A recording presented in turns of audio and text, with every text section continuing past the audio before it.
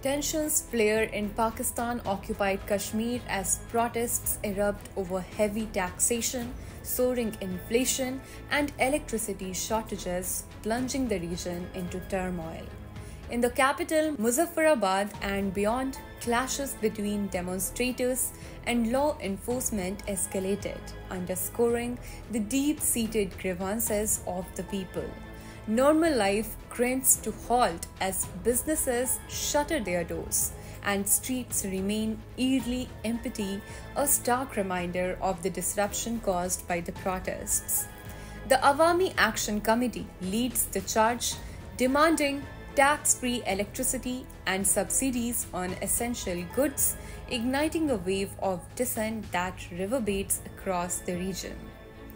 But what began as peaceful demonstrations soon descends into chaos, with police resorting to tear gas and protesters fighting back against perceived injustice. From Dadial to Mirpur and from Samahni to Hatiyan Bala, the injustices and flames of discontent spread as clashes erupt in multiple parts of Pakistan occupied Kashmir. As arrests mount and tensions escalate, the authorities attempt to quell the unrest, deploying additional troops and cracking down on protest leaders.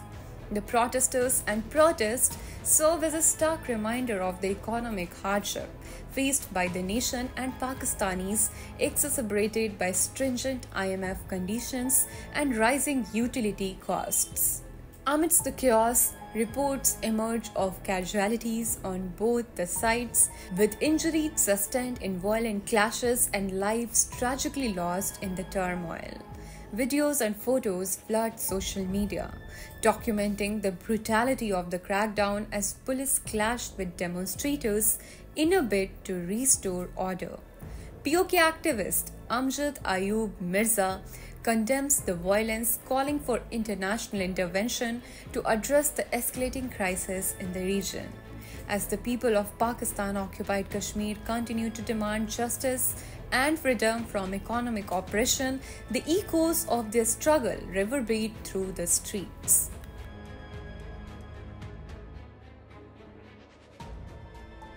Subscribe to Oneindia channel and never miss an update.